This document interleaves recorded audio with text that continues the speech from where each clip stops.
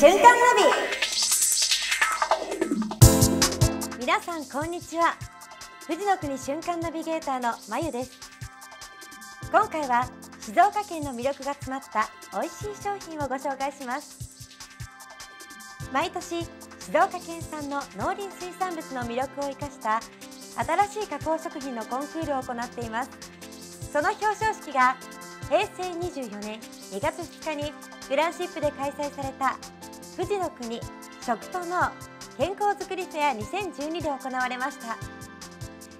平成23年度の受賞商品はこちら。最高金賞はプロシュートです。厳選された地元産の裾のポークを原料に1年以上かけて長期熟成させた生ハムです。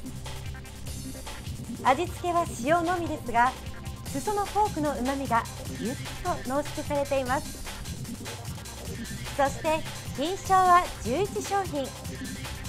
マグロサンナ牛乳お茶うなぎ芋クラウンメロンカツオ浜名湖の魚介類などを原料に開発されたアイデア商品が並びました。どれもユニークなんですが私が気になったのはこの横須賀梅掛川市に江戸時代から伝わる地砂糖横須賀白を使って当時から伝わるレシピで復活した飴玉なんです。静岡県の魅力が詰まった富士の国新商品セレクション。ぜひ皆さんにも手に取って食べていただきたいです。What's up 富士の国。静岡県の旬な出来事満載でお送りしている What's Up 富士の国。今月は私まゆと一緒にチェックしていきましょう。今回のテーマはこちら。1月26日27日の2日間川勝知事の新たな取り組みである移動知事室を富士富士宮地域で試行的に実施いたしました。移動知事室とは知事の執務拠点を一定期間にわたって出先機関に置き地域の課題や県政への要望を現場で確認して現場で解決する機会を充実させるための試みです。移動知事室は来年度から東部中部西部加茂地域の総合庁舎内の地域支援局などを拠点として本格的に実施していく予定です。1月27日新東名高速道路の御殿場3日日間162キロの開通が4月14日に決まり県庁本館玄関前では新東名開通カウントダウンボードの除幕式を行いました。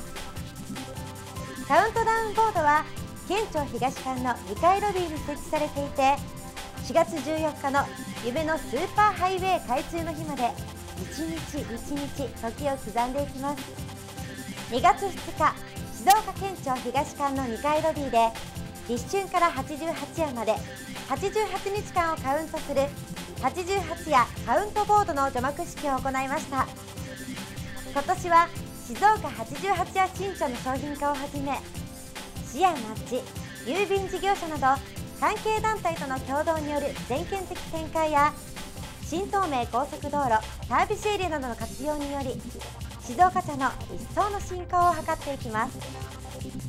そして午後からは静岡市のグランシップにて富士の国食と脳健康づくりフェア2012を開催しました。健康づくりフォーラム連携共同の集いでは社会全体で考える望ましい食生活についてのパネルディスカッションを行いました。6次産業化フォーラムでは川勝知事が静岡県の農水産品の種類の多さを挙げ将来の6次産業の進め方について話しました。新東名開通に88夜。今から待ち遠しいな。食と健康づくり。まさに静岡ならではって感じですよね。新年度も富士の国静岡県の新たな挑戦に目が離せませんね。それではまた。